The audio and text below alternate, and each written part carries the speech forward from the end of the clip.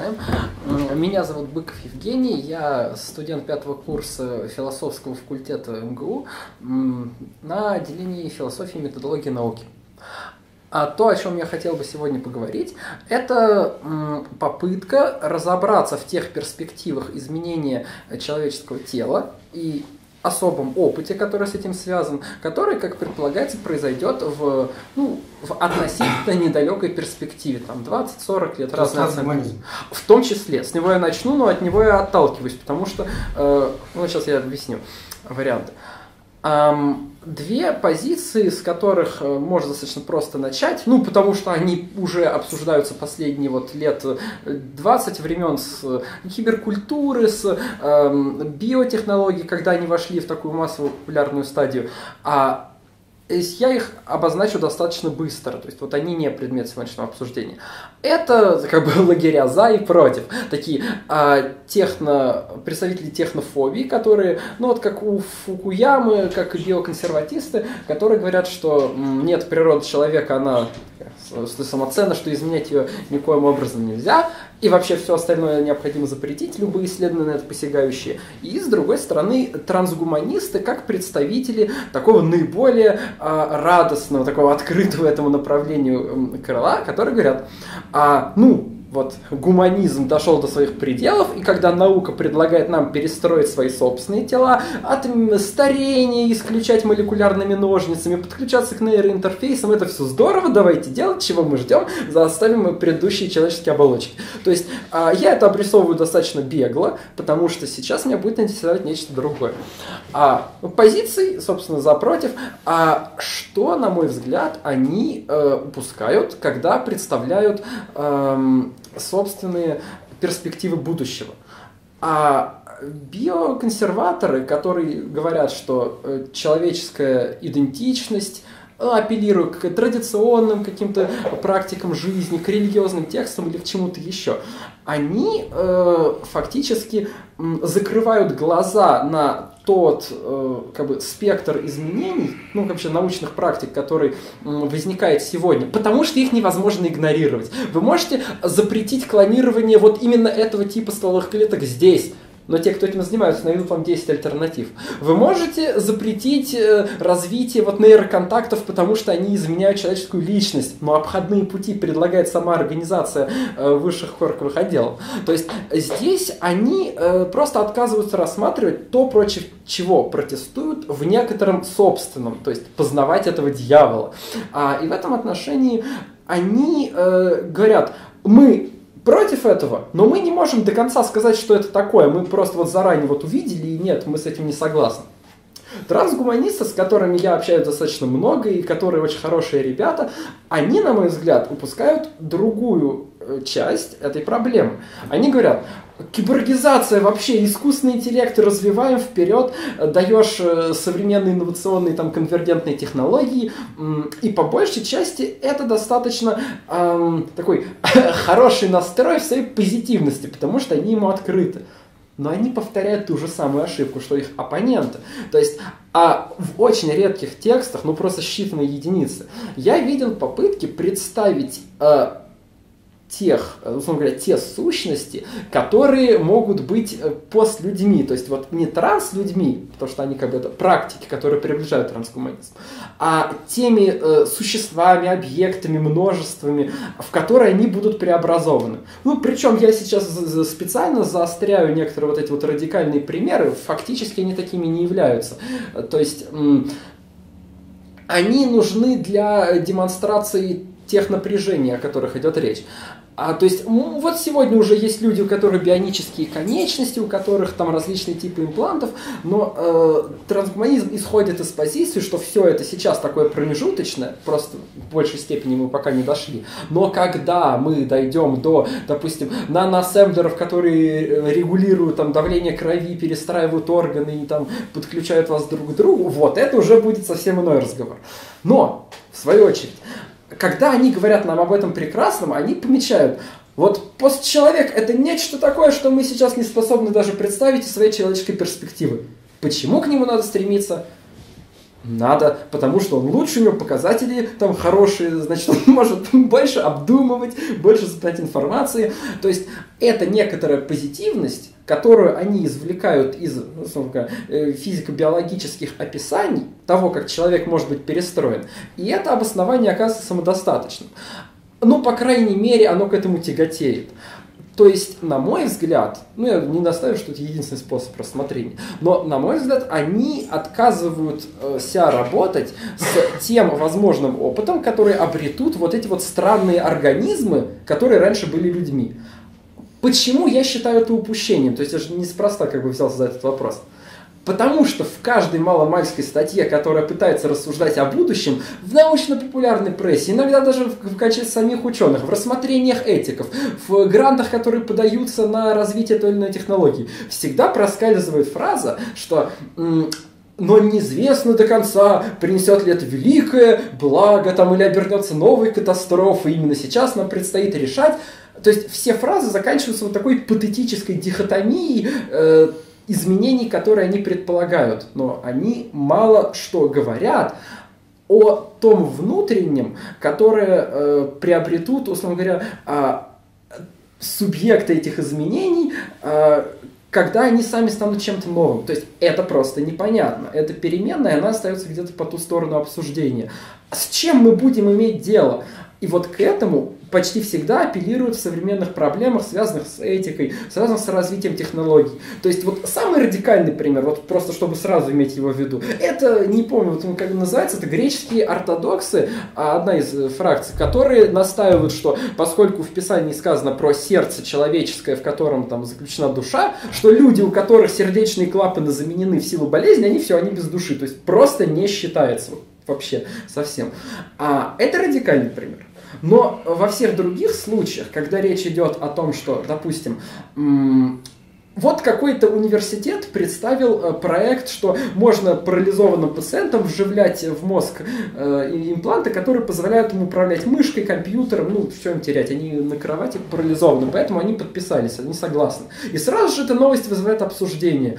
А но если мы представим, что такому здоровому человеку вживили, будет ли он еще человеком или нет? А где кончаются границы человеческого? А где, да как, а как мы это посчитаем? А э, с чем мы вообще говоря имеем дело? Потому что сама вот эта граница, когда проникновение э, технологии в саму плоть, в, которая как бы связана с самоощущением, а, оказывается достаточно сильной, а, она ставит этот вопрос ну, практически всегда. А, и рассмотрение этой проблемы как раз в связи с этим кажется мне актуальным. И вот то, что я хотел бы предложить сегодня, это попытка подступиться к вопросу о таком специфическом опыте, но не взятая как бы из э, развития вот этих технологических программ. Это отдельный разговор, я думаю, он был бы очень детальный и насыщенный а наоборот, попытаться э, работать с некоторыми специфическими феноменами или случаями, которые э, были зарегистрированы ранее, ну, в последние там, тоже лет 20, э, и э, описание которых, и участников, если это речь идет о практиках, э, могут дать нам информацию о том, э, сколь специфически необходимо к этому опыту подступать, чтобы о нем вообще могла идти связанная речь. А, то есть э, подготовить некоторые описательные аппараты, настроить их. А, соответственно, я рассмотрю э, ну, три или четыре, там по времени посмотрим, а, случая. Это две практики, два случая.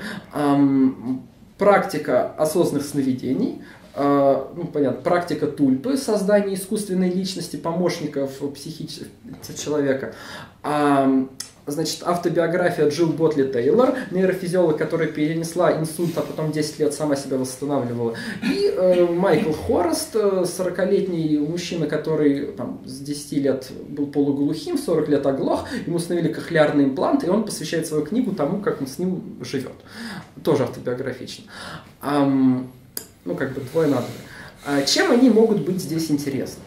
На мой взгляд, а, сами эти, э, вот что показательно, это отсутствие такого острого внимания к ним в сугубо академической среде, ну вот, я бы сказал, даже той э, области науки, которая э, работает практически, то есть на разработку конкретных технологий, а, нежели на развитие концептуальных исследований, э, связанных с этим. Потому что, когда Стивен Лаберж в 1980 году а, доказал существование того, что человек может во сне осознавать себя, ну, если так отвлекаться, это было зарегистрировано при помощи эм, в движении глаз во время фазы быстрого сна, вот как раз четвертая часть э, полуторачасовой фазы, а когда э, движения глаз носили не беспорядочный характер, а заранее установленный код, который был обсужден с человеком, который как бы утверждал, что этой практикой владеет. Ну, у Лабержа у самого там несколько десятилетий перед этим шли исследования.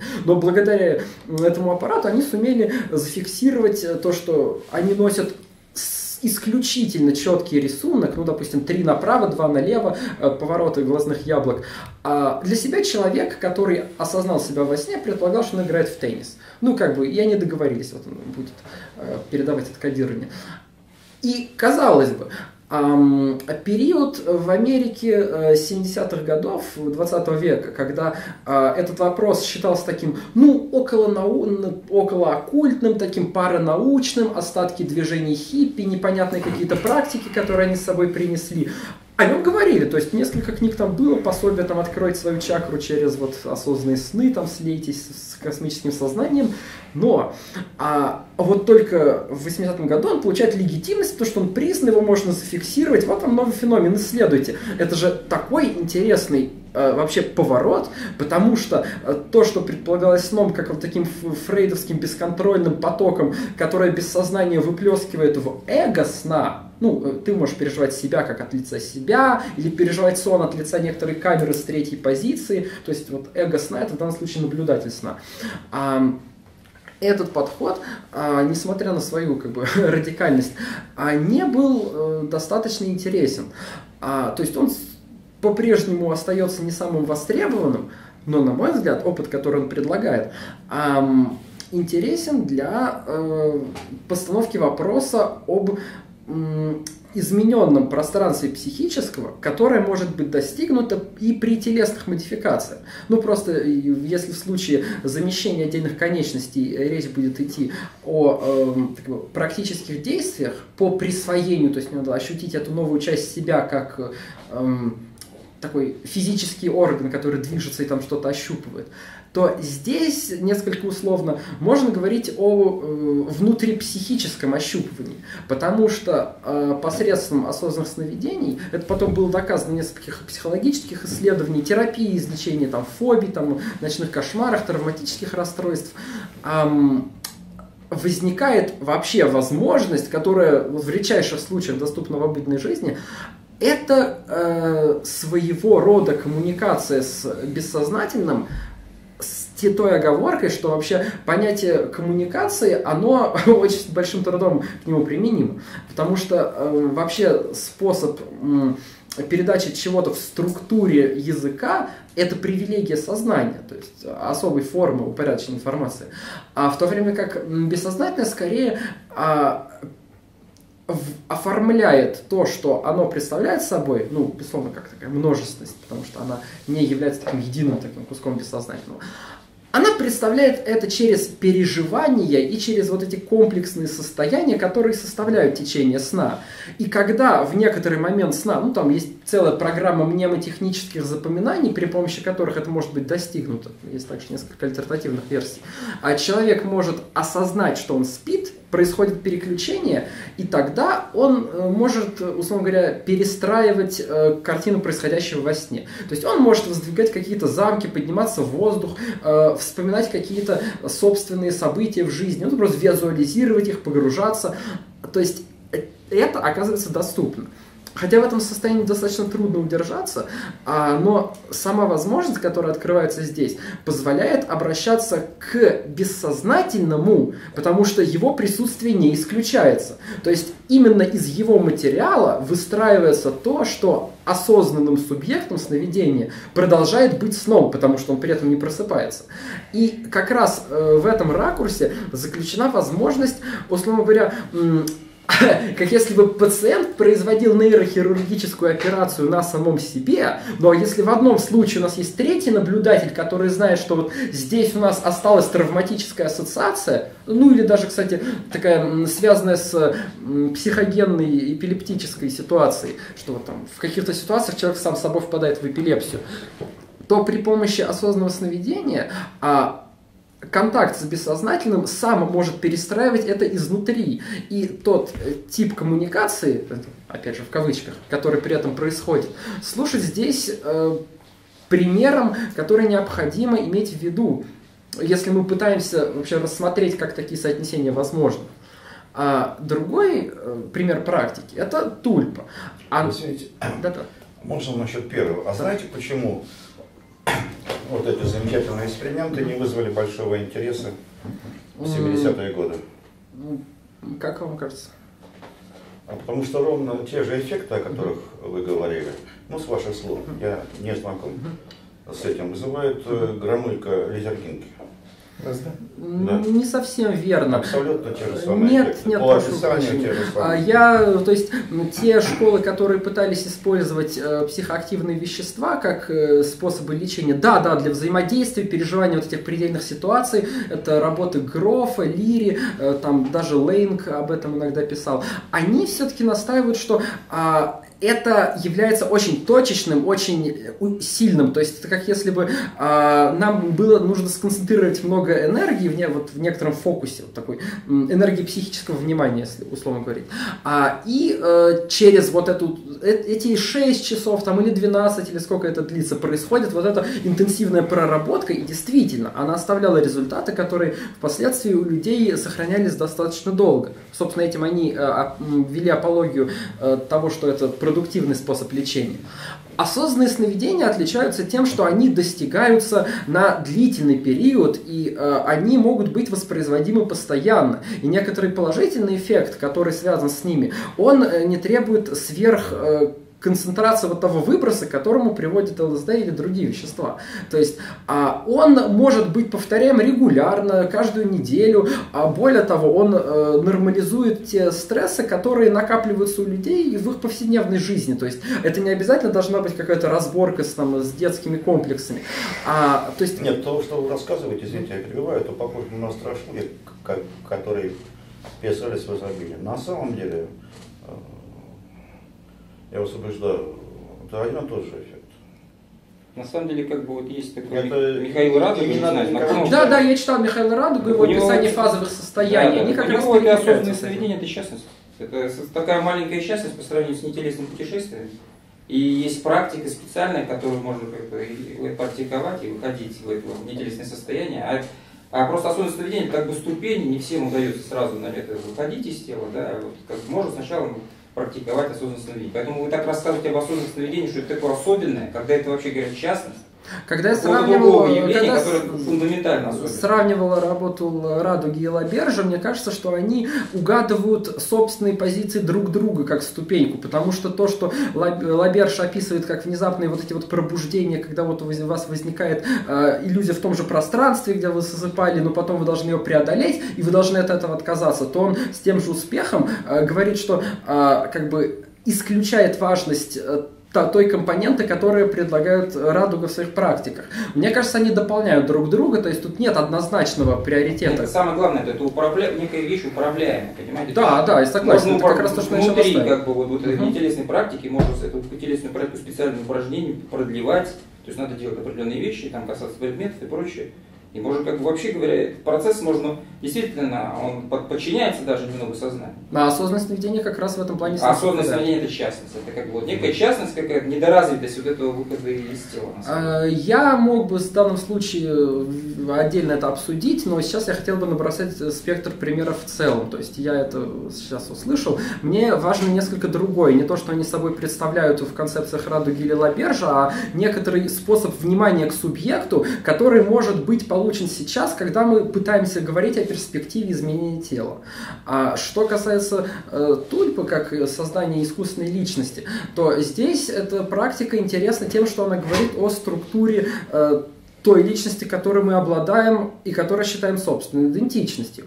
Она появилась относительно недавно, где-то в конце 2000-х, а, и представляет собой тоже методологию, практику последовательного создания себе, условно говоря, воображаемого друга, а, который делегирует некоторые способности взаимодействовать с собственной памятью, с э, операционализации некоторых функций, к которым можно обращаться за советом, но вообще говоря, он э, может быть наделен и совершенно другим спектром. То есть эм, тот, кто создает себе тульпу как дополнительную искусственную личность, а вторичную по отношению к первой, а может э, делегировать ей позицию собственной совести, э, каких-то наблюдений собственной жизни, просто коммуникацию, э, если ему так это интересно. А здесь граница, которая кажется мне существенной, пролегает э, на их способе взаимодействия. А особенно, когда идут советы о том, э, как не допустить конфликта между вот, созданной тульпой и э, исходной личностью. Как необходимо нормализовать длительное существование, которое бы не приводило, условно говоря, переразвитию тульпы или э, таким противоречием с ней, поскольку э, как бы критерием ее создания является то, что она не может быть проанализирована тем, кто ее создал. То есть в некоторый момент она э, внутренне воспринимается как некоторая психическая автономия.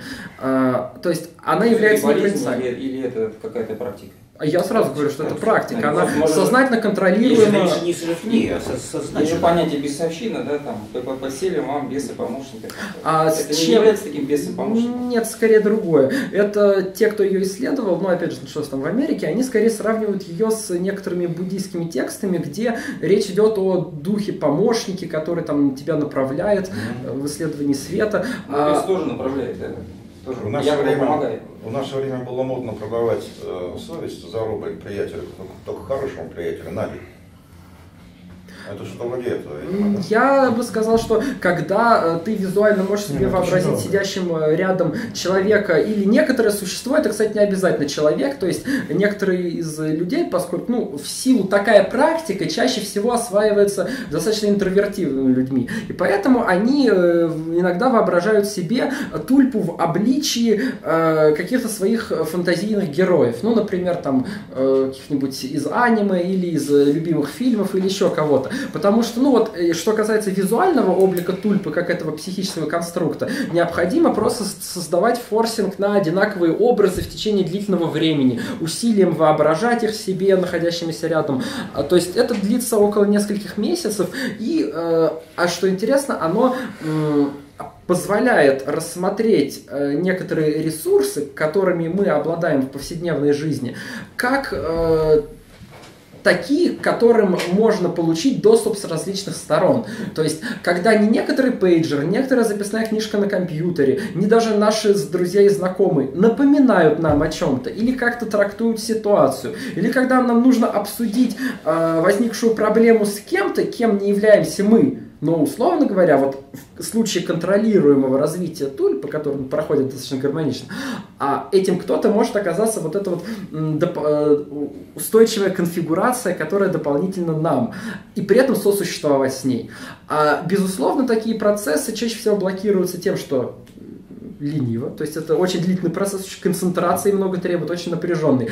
А кроме того, вот это дополнительный интерес в том, о чем я говорю, при перестройке э, некоторых внутренних соотношений, ну, в данном случае просто их удобно рассматривать, потому что они не требуют э, каких-то имплантов, которые будут продуцировать в нас создание вот этих фантомных образов, хотя в перспективе как раз это и возможно. А уже сейчас люди без подобного вмешательства а, производят их в себе. Но при этом понятно, что перестройка а, того фокуса в психике, в который личность сходится как интегратор информации, как место соотнесения с нашим «я», как нечто подобное. Когда ты начинаешь делать некоторую альтернативу этому в виде вот э, этой тульпы, а, то обостряются многие критические э, заболевания, до этого времени дремавшие. Это, кстати, э, связано... у тех, у кого она могла присутствовать в более слабой форме, что, кстати, явствует и для психоделиков, поскольку они за счет вот интенсивности вот этого прорабатывания, они э, как бы вскрывают те неправильно сросшиеся швы и границы, которые э, травматизируют субъекта самого. Но э, у некоторых это оказывается особенно болезненно, и они э, могут э, как бы войти в клиническую стадию. Вот это, кстати, очень интересный э, параметр, который характеризует э, вот эту соотнесенность. Мы сами же являемся тем материалом, из которого мы это создаем, но одновременно это э, меняет конфигурацию того, что мы считаем собой. И если мы можем описывать это одновременно и улавливать вот эти вот э, обратные петли, а, то, на мой взгляд, это является подступом к тому, как мы можем, например, описывать а, внешние воздействия, а, ну, например, при есть такая модель актив, э, наномашин, активирующих нейроны ну, на соответствующем уровне. То есть нет необходимости, как в случае парализованных, вводить имплант и там параллельно уничтожать 100 тысяч нейронов, которые срослись, потому что в данном случае это оправдано. А когда у тебя есть устройство, которое может активировать их, э, принесенное вместе с кровотоком, то есть даже минуя гемоэнцефалический барьер. А, и если эта перспектива является а, достаточно а, хирургически точной, поскольку может быть настроена, ну, в случае с этими гипотетическими машинами, то описывая ее, и трансгуманисты, и их критики, они не пытаются передать тот опыт, который может обладать субъект, который сам себя перестраивает таким образом. То есть, что значит быть вот способным это делать? И причем делать э, ну, в таком же режиме повседневности, в котором мы осваиваем мобильные телефоны и компьютерные устройства. И вот, на самом взгляд, тульпы осознанное сновидение – и фазы, если угодно, они как раз э, являются примерами э, подобных смещений э, субъекта из собственного центра. К, э, на основе внимания к ним э, ответы на другие вопросы тоже могут быть получены. Два других случая, они э, как бы близки к ним, но просто развернуты на примере отдельных конкретных людей и их жизни. Джилл Потли Тейлор, э, которая заинтересовалась нейрофизиологией, потому что ее брат был шизофреником, э, с, там, лет с 10 уже у него в клинической форме пошло, и она думала, как-то люди при одинаковом мозге такие разные, вот, казалось бы, мой брат. А, и вот она этим занялась, а, колесила по Америке, всех убеждала сдавать мозг в банке мозга, то есть посмертно, ну, с гитарой, а ее так и назвали поющий нейрофизиолог. Там. И вот 37 лет у нее происходит инсульт.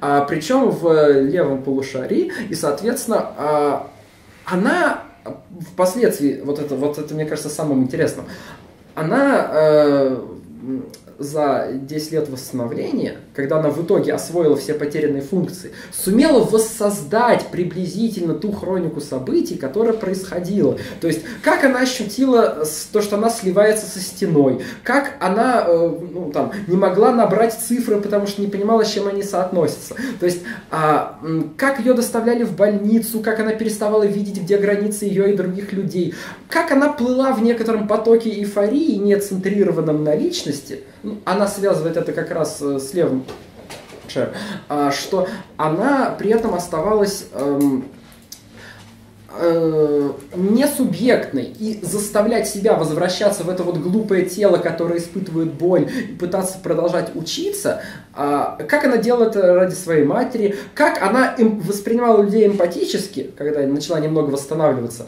но при этом не в, условно говоря, той структуре эмоциональности, э, которую мы испытываем в повседневности так же, как речь. То есть вот такое нанесение эмоциональных значений. Э, Почему мне кажется это интересным? А это ее самоописание можно сравнить с работой Лурии про высшие корковые функции человека. Но если у него э, есть множество примеров отдельных людей, которые уже получили травму, и там не могут читать буквы, не разбирают картинки, не могут соотнести их с объектами, у которых руки выворачиваются в обратную сторону, когда они пытаются взять что-то, эти случаи множественны, они очень локализованы, потому что у каждого обычно отдельное нарушение, чтобы с ним можно было работать как нейропсихологу. А, но при этом они уже готовы. То есть он уже их обнаруживает таковыми и пытается что-то сделать, описывает, что происходит в процессе. В то время как в случае этой Ботли Тейлор, а, интерес в том, что у нее это разворачивается в а, ее жизненном пространстве последовательно, проходя множество вот этих стадий отключения. То есть она описывает, с каким трудом перебирала визитки, чтобы не пропустить номер, который является номером ее врача, и пытаться вот удерживать в угасающем распознавании имен то, которое может быть номером врача. Как она не смогла не членораздельно выговаривать звуки, хотя когда нашла из ванны, ей казалось, что она еще может. Ну, но особый интерес э, здесь, опять же, э, как бы дополняя предыдущее сказанное о практиках, на мой взгляд, лежит в том, как она обратно себя присваивала. То есть, если у нас осталась вот эта некоторая тлеющая величина, которую можно назвать «я», и которая, по ее словам, она, ну, когда она парит в океане эйфории, когда для нее все предметы не имеют границы, перетекают друг в друга, понятно, что вот это вот ограниченное тело, которое привязано к койке и у которого э, испытываются вот эти вот органические ощущения, оно ее травмировало самим фактом. А, но при этом а, она сделала это усилие, потому что ей было на, вот, на что опереться, ну, вот, если следовать логике самоописания. И вот последующие годы, когда она играла в пазлы для детей, когда она училась с мамой записывать слова заново, там, мяч, там, акула, там, хлеб, эм, Интересно, что это было не просто некоторая механическая потеря, там, отпала, отпала, и механическое восстановление, там, набралось, набралось, набралось.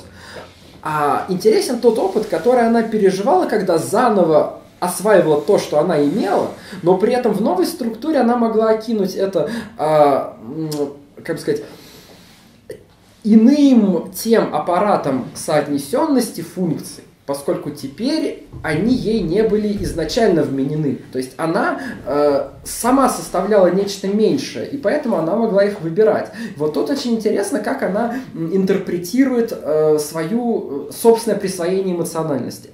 Она говорит, когда мой период эмпатического восприятия людей, то есть она плохо понимала, что и говорят медсестры, что и говорят родные, но она очень хорошо и сразу чувствовала, когда они искренние, а когда они лицемерят. То есть когда медсестра вообще делает фальшиво и совершенно э, искусно, а когда ее мать, правда, не беспокоится. А когда этот период уже подошел к коммуникации, что она могла с ними общаться, могла взаимодействовать лучше, эм, и она э, обнаружила, что в ней часто просыпаются эмоции, которые как раз более социализированы и похожи на значение языка. То есть а, кто-то что-то мне сказал грубое, я чувствую к нему злость, и она может сохраняться во мне полдня. Или, например, а, я сказала кому-то что-то, как бы слегка в запале, а после этого мне стыдно и самое неприятно, что я сделала.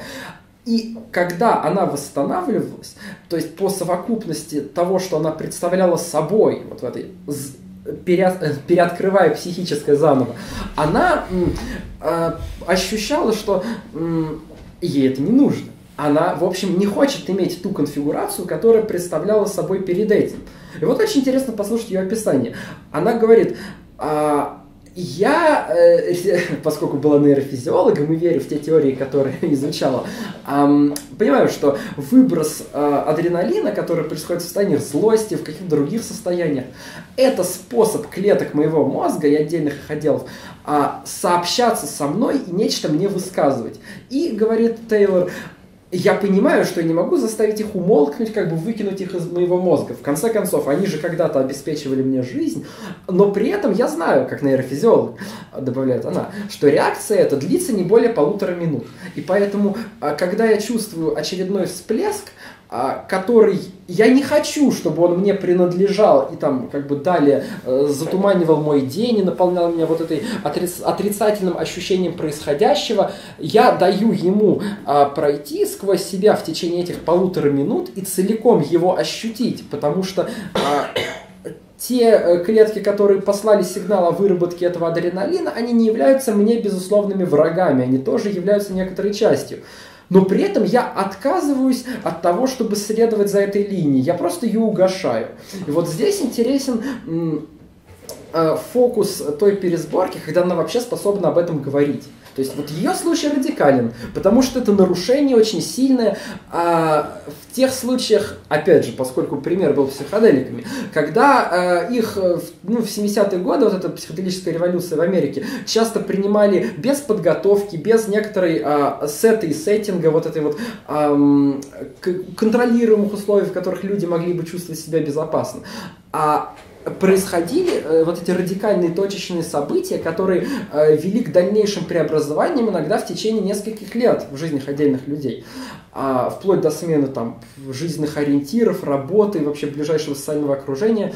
А, и в этом плане они кажутся мне очень резкими, и Ботли Тейлор пример подобной резкости, но происходящей по вообще сугубо биологическим причинам. У нее была артериовенозная мальформация, у нее там взорвалась небольшая вот эта капиллярная связка, в которой накопилось много крови. И э, в итоге это привело к этому результату. Но само ее самоописание этой пересборки как раз таки дает возможность представить э, как нечто подобное может быть операционализировано, если речь уже заходит о искусственном конструировании нейроконтактов ну, которая вот как бы... Сейчас у нас оптогенетика, коннектом, вот эти вот заявленные проекты. Я думаю, что непосредственное взаимодействие с отдельными нейронными сетями, оно также входит в число перспектив, ну, направлений, которые были указаны. То есть вот это не некоторая фантастическая перспектива, напротив, достаточно близко.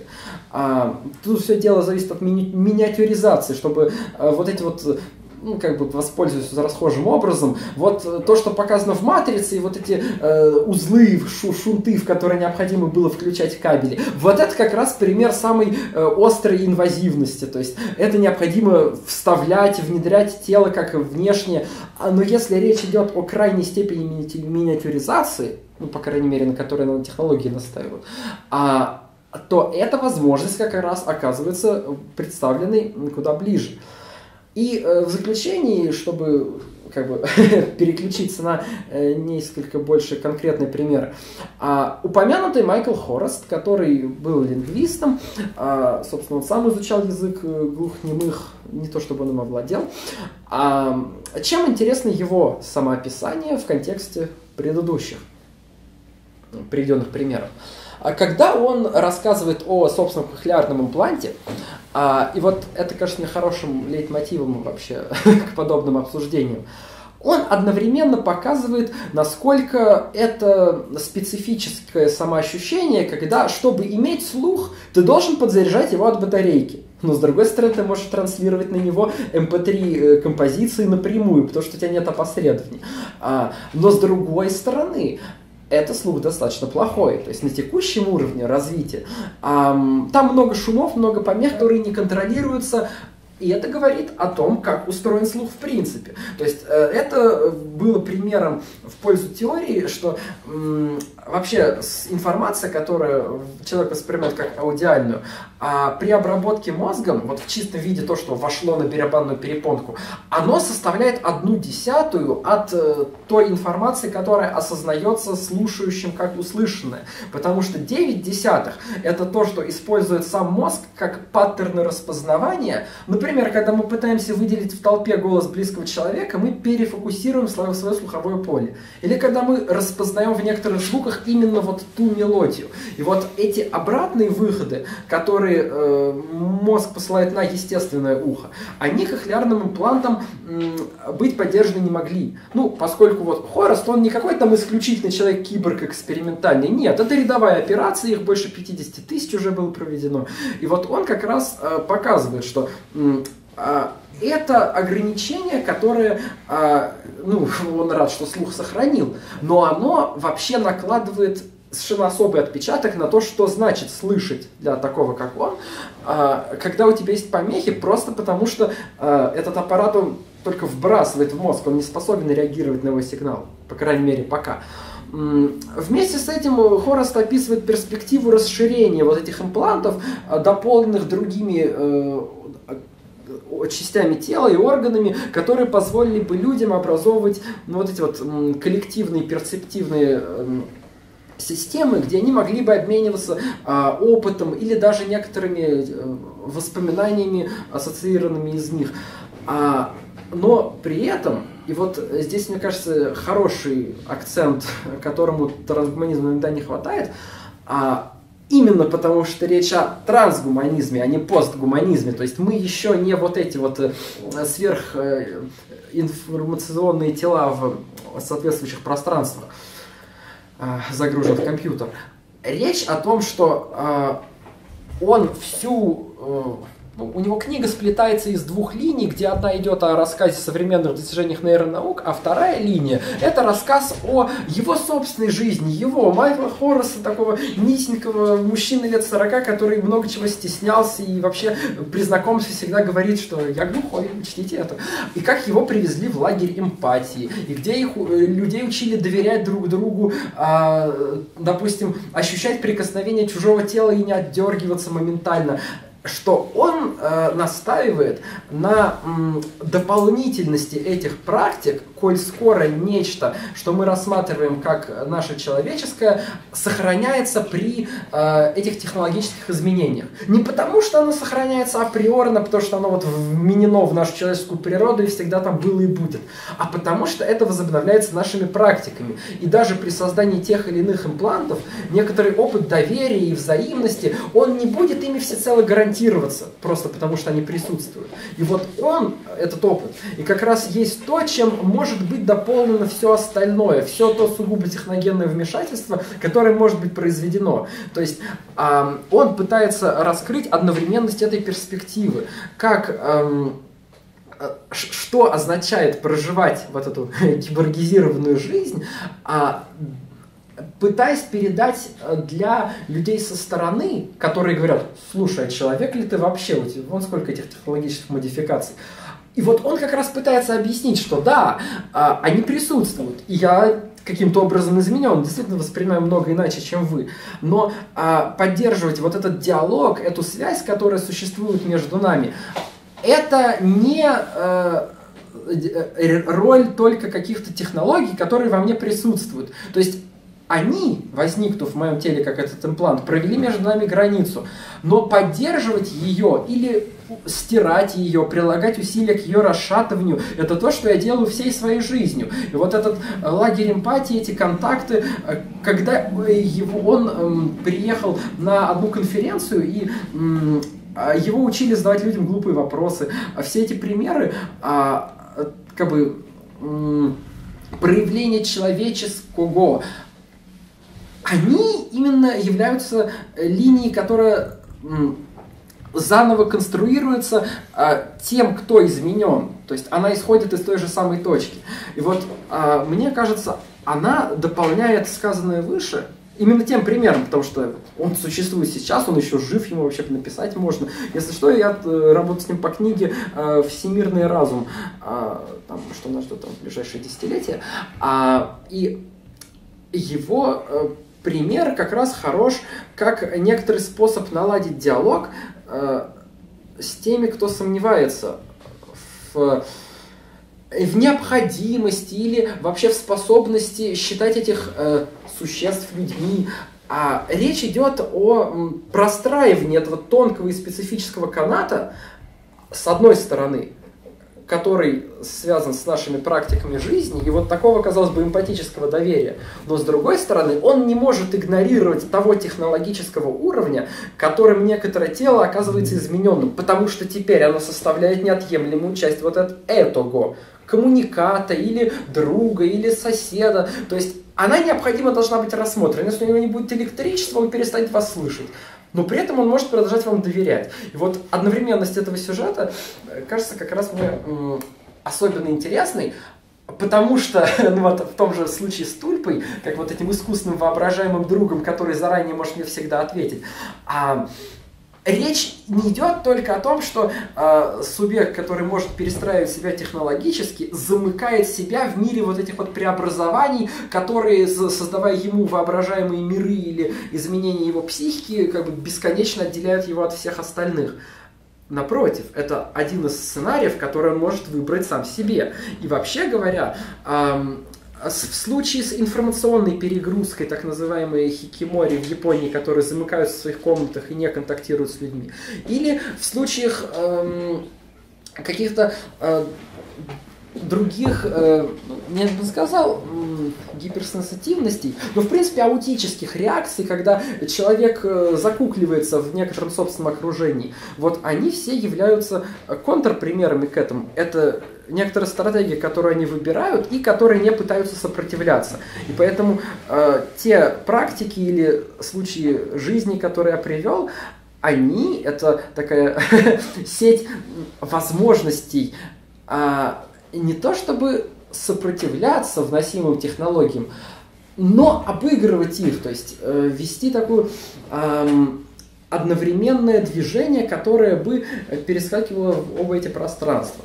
Ну, вот это очень интересно. Мне интересно э, насчет последнего примера. Автор делает акцент на человека, собственно, или на всемирном разуме? Нет, всемирный разум, это вот мне лично кажется, это скорее даже такая полузавлекательная история, которую он добавил в книгу, чтобы она продавалась. Потому что он дает эту очень туманную перспективу в том всего в главах.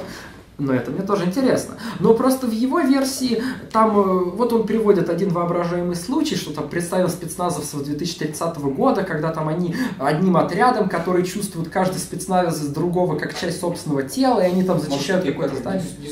А так все, все, я уже закончил, это уже мы перешли к примерам. Вот мои четыре примера.